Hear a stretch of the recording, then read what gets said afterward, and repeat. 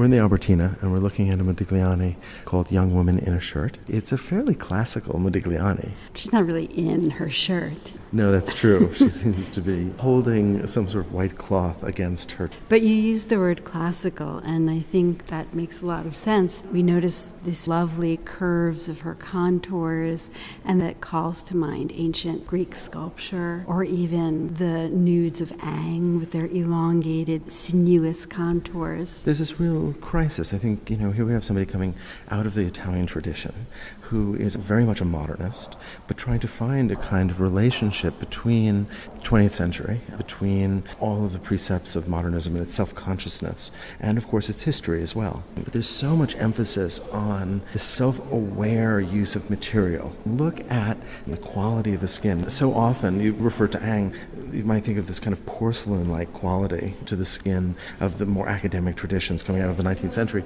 But here you have this very stippled, rough surface that looks as if it's like stucco, that is anything but porcelain and anything besides smooth. Mm-hmm. It is calling attention to itself as material, and more than that, calling attention to the artist's application of that material. You're right, her skin doesn't look like porcelain, like an Ingres, but on the other hand, it reminds one of fresco or terracotta. There is still that sense of classicism that comes through, and it's important, I think, to remember that this is 1918, after Braque and Picasso have dissolved form and fractured space.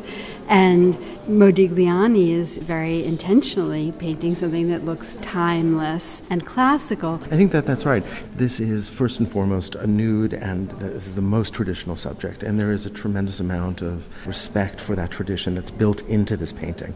But at the same time, he's also emphasizing a kind of system of seeing or a system of representation that has less to do with what he's observing and more to do with the painting itself.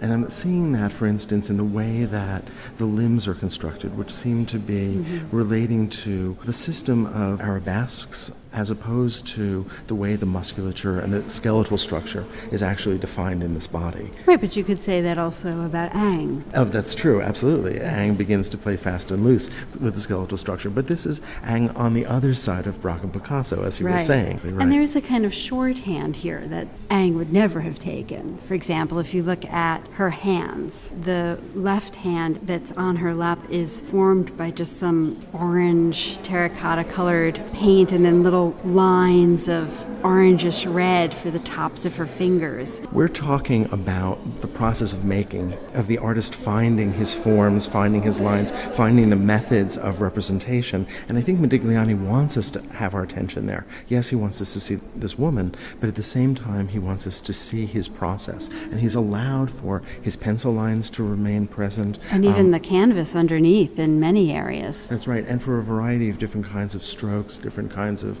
brushwork, different mm-hmm. touches. And so there is something very physical and very much process oriented here that is allowed to remain visible. In a sense, the method of construction, the process, the intellectual thinking through of the method of representation and meaning is made apparent to us. Yeah, I think that's absolutely right. I think that Modigliani is certainly drawing our attention to different kinds of strokes and the rapidity of some, the carefulness of others, the delicacy of some. You know, in some ways, and this is something that Modigliani does often.